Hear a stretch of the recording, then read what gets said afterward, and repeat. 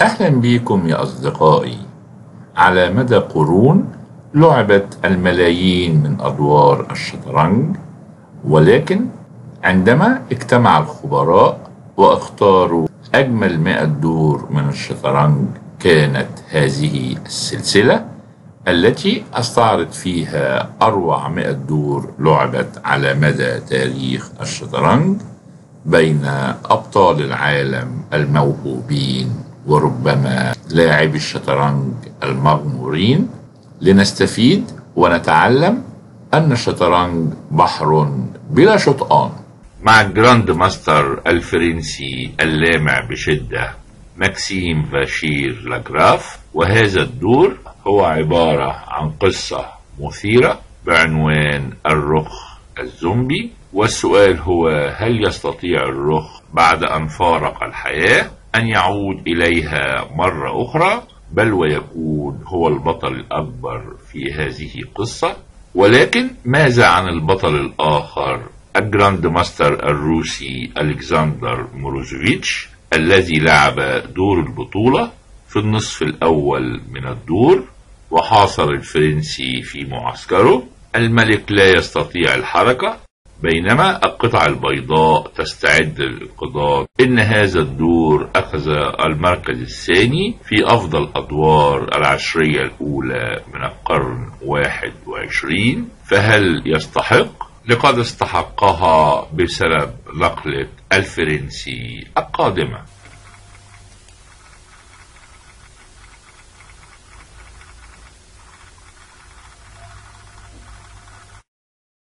مورزوفيتش بالأبيض وبدأ 4 ولاجراف وعمره 19 سنة يلعب بالأسود وبدأ سي 5 الدفاع الصقلي نايت إف 3 دي 6 دي 4 سي دي 4 نايت دي 4 الدفاع الصقلي المفتوح knight f6 knight c3 a6 تفريع نجدورف f3 e6 bishop e3 b5 queen d2 knight d7 g4 بيبدأ هجوم في جناح الملك وطالب الجي 5 h6 بيمنع المربع castle long b4 والحصان تراجع queen c7 الملك على نفس العمود مع الوزير اتش 4 d5 وهنا التكملة المعروفة هي ال bishop f4 طالب الوزير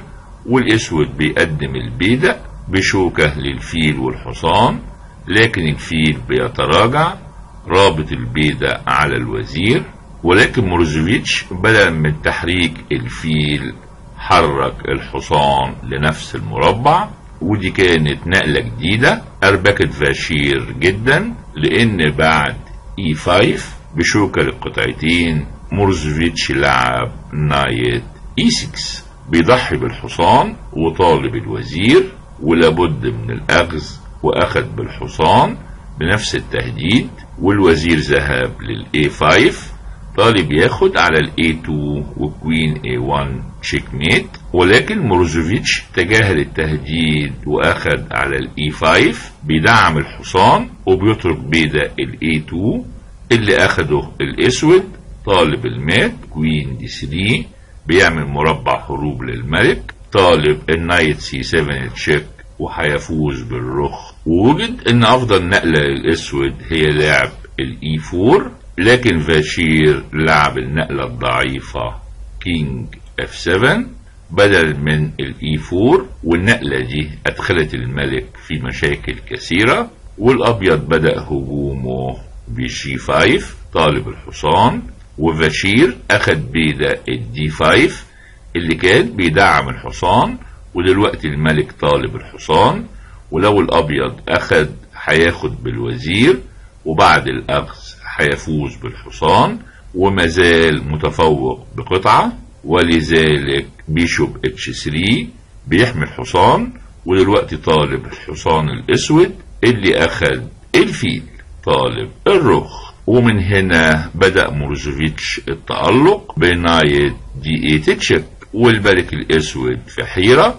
فلو تراجع للجي 8 هيخسر وزيره ب bishop e6 check بينما إذا تراجع لل e8 طالب الحصان الأبيض له إجابة قوية ب bishop d7 check والفيل إذا أخد هياخد بالوزير ب checkmate ولذلك مجبر على أخذ الحصان والبقاء تحت الكش بالكشف وبالفعل الأبيض بياخد الفيل وبيكشف كش للملك والملك لازم ياخد وهنا queen d7 check king b8 هيدي الكش بالوزير king b7 rook d7 check هتنهي الموقف. ولذلك الملك ذهب لل e7 وهنا الأبيض يستطيع الفوز بأخذ الحصان طالب ال queen d6 check ولابد من أخذ الحصان الأبيض وبنصل لنفس التفريع السابق. ولكن مورزوفيتش لم يرى هذه النقلة وكمل بالنقلة التي تبدو قوية knight c6 check. والملك ذهب لل f7 وهنا جاءت g6 check والملك تراجع لجي 8 وبكده الملك أصبح أسير وكذلك الرخ حبيس وجاءت الفرصة لموروزوفيتش للفوز ولكن أولا أخذ الحصان والفيل والرخ طالبين الحصان الأسود اللي كمل bishop C 5 بيعمل مربع هروب للملك وطالب الوزير والوزير ذهب لل E 4 والحصان ما زال مطلوب ولذلك تراجع لل F 8 ومرة أخرى الملك حبيس لكن الحصان مستعد للتضحية على ال G 6 لكن مورزوفيتش زود في آلامه ب rook D 8 بيربط الحصان على الملك ودلوقتي طالب ياخد بيدق ال E 5 طالب الفيل وكذلك طالب ال bishop E 6 check بشوكة للملك والوزير.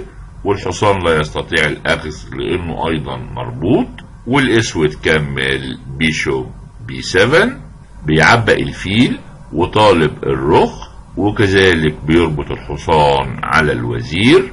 وفي الدور موروزوفيتش أخذ الرخ لكن كان لديه نقلة فائزة درجة الصعوبة 8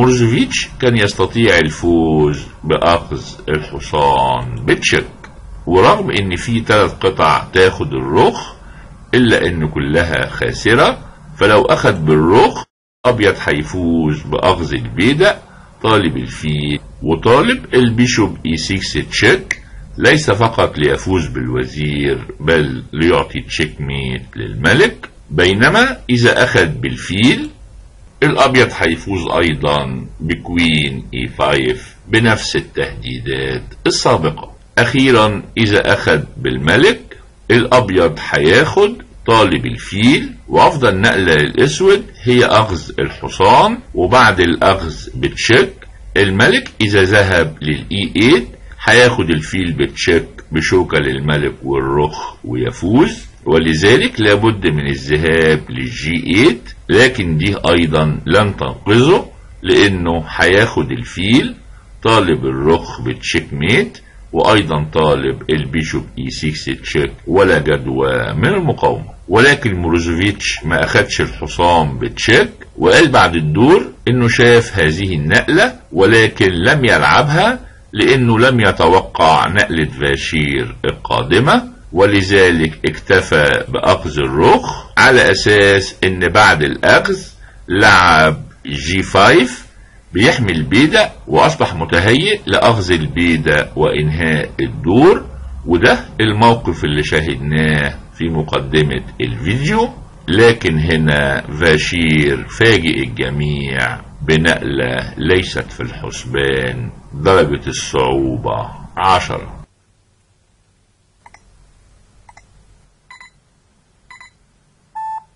فاشير لعب rook H 7 بيضحي بالرخ على أساس إيجاد مربع هروب للملك بما إنه متقدم بقطعة فلا يهم لو الأبيض أخذ الرخ فهيذهب لل H 8 والملك أصبح في أمان بل إن الأبيض بيواجه الصعوبات فحصانه مربوط بالفيل والأسود أيضا بيهدد ب queen A1 check ويفوز بالرخ. لكن على أي حال حتى في هذا الموقف الأبيض أفضل ولكن الفوز أصبح بعيد المنال. ولذلك ما اخدش الرخ.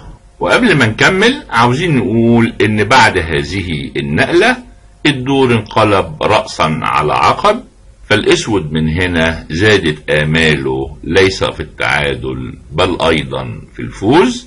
على أي حال الأبيض بيهدد ب queen A1 check ويفوز بالرخ وبعده الفيل ولذلك rook E1 والإسود بدأ في تصفية الموقف ب bishop C6 كل ما قطعة بتختفي من الرقعة بتظهر أهمية التفوق المادي للأسود بقطعة. وبعد الأخذ طالب الفيل لعب bishop D 4 طالب ياخد على ال B 2 ب check والأسود أصبح في موقف هجومي ولذلك king D 2 والأسود فاز ببيدق طالب ال queen C 3 check ولابد من تكسير الوزيرين وهياخد بالفيل ب check ويفوز أيضا بفرق والأسود في طريقه للفوز.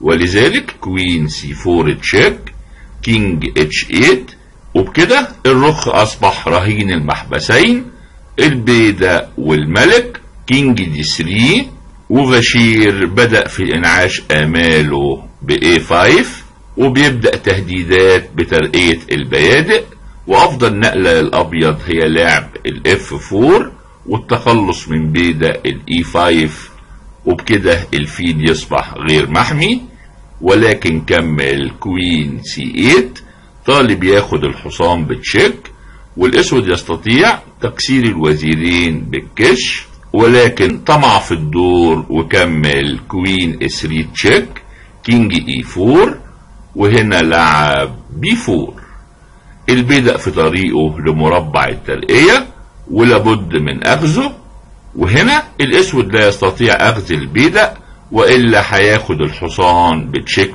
ولذلك لعب النقلة الرائعة. A4 طالب يفوز ببيدق والأبيض لو أخد هيلعب كوين دي 4 طالب الرخ بتشيك وطالب الكش بالكشف والأسود في طريقه للفوز. ولذلك حمى البيدق queen B 4 مازال بيحمي الحصان وطالب الكش بالكشف والأبيض اقتنع بالتعادل ب queen C 4 طالب تكسير الوزيرين لكن الأسود رفض وكمل queen B 7 check وغطى بالوزير طالب التكسير لكن عاد مرة أخرى والأبيض عاد أيضا والأسود غير ل queen D 2 طالب ال queen F 3 check ويفوز بالبيدق ب check ويفوز بالفيل ولذلك bishop G 4 بيحمي البيدق وفاشير بدأ مسيرته الفائزة ب A3 طالب ترقية البيدق والفيل بيحمي مربع الترقية والأبيض بيهاجم بيأس ب queen F7 طالب الحصان ب checkmate لكن الأسود كمل queen c 2 check king d 5 queen c 5 check كش وفي نفس الوقت بيحمي الحصان والملك ذهب لل d 5 وهنا قدم البيدق طالب الرخ وطالب الترقية وبعد هذه النقلة لابد أن يفوز بقطعة والأبيض اختار rook c 1 طالب الوزير. والوزير لا يستطيع أخذ الرخ وإلا هياخد الحصان بتشيك ميت. ولذلك رقى الوزير والأبيض أخذ على السي 5 والأسود أخذ بالفيل وبيحمي الحصان وأصبح حاليا متفوق بقطعتين كاملتين لكن رخه ما زال حبيس والأبيض لا يستطيع الاقتراب من الرخ وإلا هيتلقى المات ب queen d 4 check والنقلة الوحيدة هي ال f 5 و queen f 4 checkmate لأن الحصان بيحاصر الملك. ولذلك الوزير تراجع للجي 5 وهنا جاءت اللحظة الحاسمة ب queen e 1 check king d 3 queen d 1 check king c 4 queen d 5 check king d 5 وبكده أصبح للأسود ثلاث قطع أمام قطعة واحدة. وبشير هنا يستطيع الفوز بنقلة مختفية درجة الصعوبة تسعة.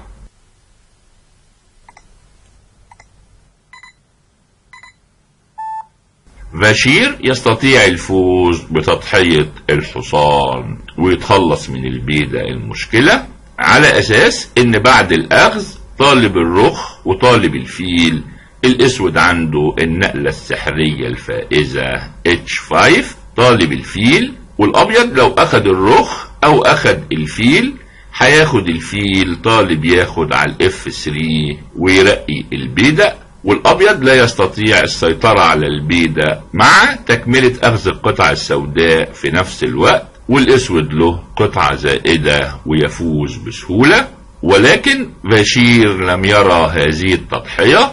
وتراجع بالفيل وبالطبع الأبيض ليس في مصلحته أخذ الرخ وإلا هيحرر الملك والأسود له قطعة زائدة ويفوز ولذلك أكمل bishop f 5 بيمنع النقلة الفائزة بتضحية الحصان وبيحمي البيدق وهنا الأسود بدأ في التألق ب king جي 8 أخيرا الرخ أصبح له مربع آمن وزي ما قلنا الأبيض لو اخذ الرخ هياخد بالحصان والأسود له قطعة زائدة مع بيادق ويفوز. ولذلك اكتفى بأخذ البيدق والرخ أخيرا عادت للحياة. ومن هنا جاء المسمى الرخ الزومبي. فالرخ عاد للحياة بعد موات لكن الملك ما زال أسير لأن البيدق بيمنع تحركه والحصان أيضا أسير. لأن الفيل بيمنع تحركه أي أن الفيل بيسيطر على ثلاث قطع سوداء وبعد king d 5 بشير أكمل مهمته التحررية بنقلة درجة الصعوبة 8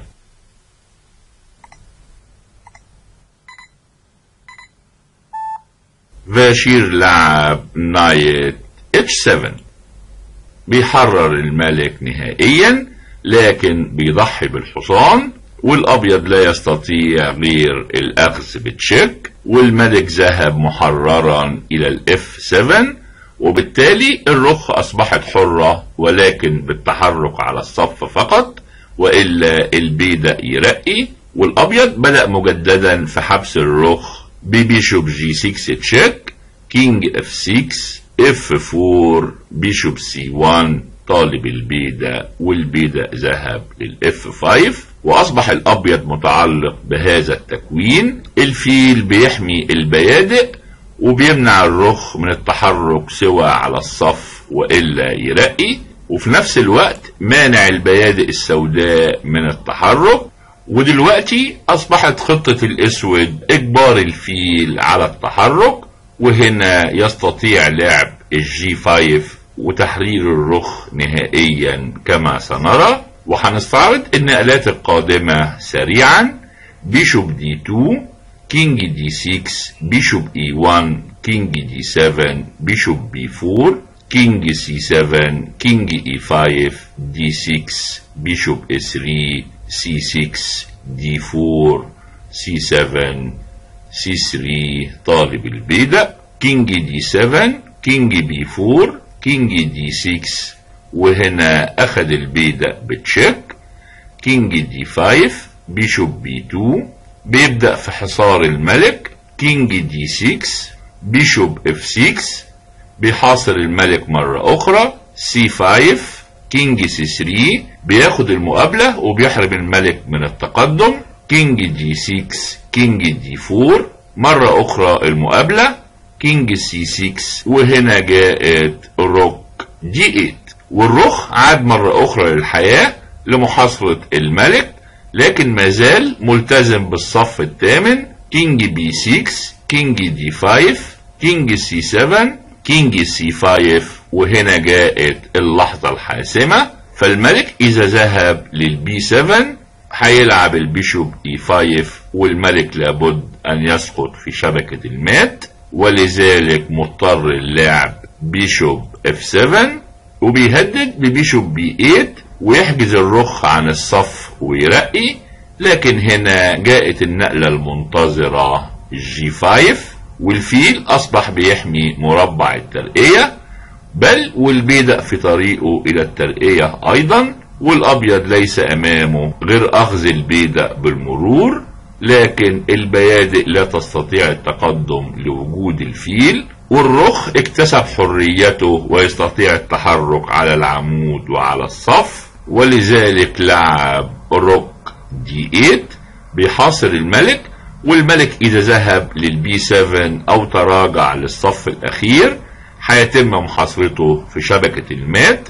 ولذلك حرك الفيل لكن هنا الأسود تمكن ببيشوب اي 5 والملك أصبح تحت طائرة الكش بالكشف والرخ بيهدد بأخذ البيدق بكش ويفوز ولذلك لابد من الذهاب للبي 7 وبكده Rook B 6 check King C 8 وهنا جاءت King D 6 والملك تمت محاصرته وبيهدد ب King E 7 طالب الفيل وفي نفس الوقت بيهدد ب Rook B 8 checkmate ولذلك مورزوفيتش سلم. بعد ماراثون طويل كان هو متسيد في النصف الأول لكن هذه النقلة المذهلة قلبت الموازين رأسا على عقب ولذلك الدور يستحق الدخول في التاريخ والفوز بجائزة الجمال الأولى. وإذا أعجبك هذا الفيديو من فضلك سجل إعجابك واشترك في القناة وشارك بتعليقاتك.